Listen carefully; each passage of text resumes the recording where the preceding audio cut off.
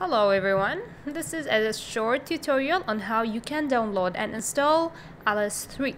So you start by going to Alice website, alice.org, and then you go to get Alice here. Once you get there, I want you to scroll down to find Alice 3. That's the most recent version of the application. So you click on get it you go to another screen you scroll down all the way to download. So here just look at the first row. It depends what what, what laptop you have. If you're using Windows or you're using Mac. If you have the Mac the Apple book the Apple MacBook. Or if you're using Windows if you're using Windows most probably you're using 64 bits. So go ahead and click on that and now you should be able to see a pop-up window. Let me show you how it looks like. So you will be able to see a pop-up window and you will click save. It will uh, save the installer for you. And once you click on that you will see a small downloading at the bottom of your page. Just wait for it to finish. This download process might take up to six minutes a little bit a little more. Once this is done you're going to click on it and uh, it will run the executable for you. So it's opening now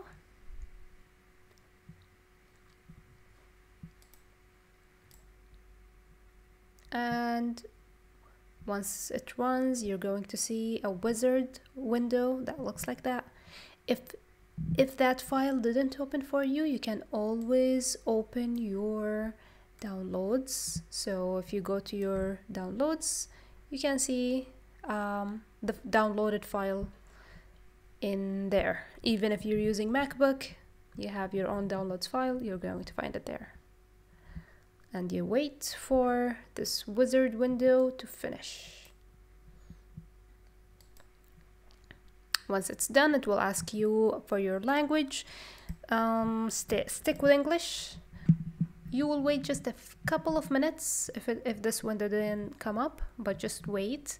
This window will come up automatically. Um, it will ask you whether you want to update an existing installation it doesn't matter whether or not because you might have installed it before and you will accept the terms click next and again click next for that to allow all files that can be opened in Alice to automatically open with Alice. So this is better to be clicked. Create desktop icon yes. And now it's preparing to install. And you'll have to wait a bit Once that is over, you can just click on finish.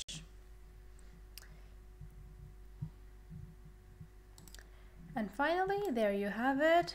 It should be installed. You should be able to see it on your desktop or you can also go to the uh, start button. You can find it here or you can also type for it type Alice and you should find Alice. That's is done. Now you can open it. You can open any file with the extension of .a3p uh, these are Alice files um, which stand for Alice 3 project. And that is it my friends. There you have it